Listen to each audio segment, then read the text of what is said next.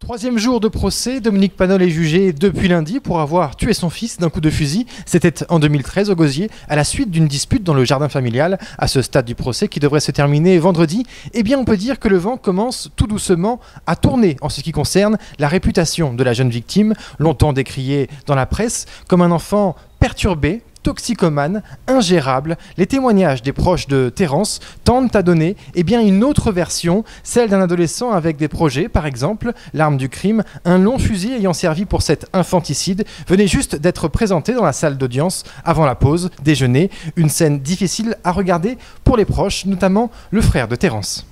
Bah, tout ce qui s'est dit depuis le début, tout le monde le sait d'ailleurs, c'est un secret de polichinelle.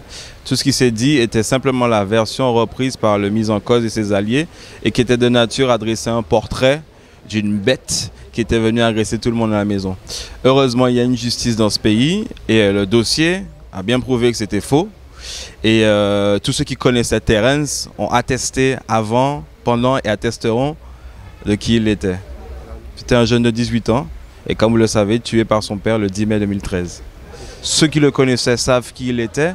Simplement, on est ici, nous, six ans après, pour euh, honorer sa mémoire en fait. il était important qu'on mène ce combat pour rétablir des vérités, non seulement sur sa personnalité, mais sur le déroulé des faits et après avoir été exclu de la maison à la suite de cette tragique dispute, accompagné par des gendarmes, Terence serait revenu plus tard, armé d'un bâton et d'un long coutelas, et c'est à cet instant que Dominique Panol aurait tiré pour sauver sa peau et celle de sa famille, selon ses termes. Est-ce de la légitime défense ou une mauvaise appréciation de la situation? N'y avait-il pas une autre solution? En tout cas, l'histoire du monstre incontrôlable, tué par nécessité par son propre père, semble devenir de moins en moins crédible ici, aux assises de Bastère.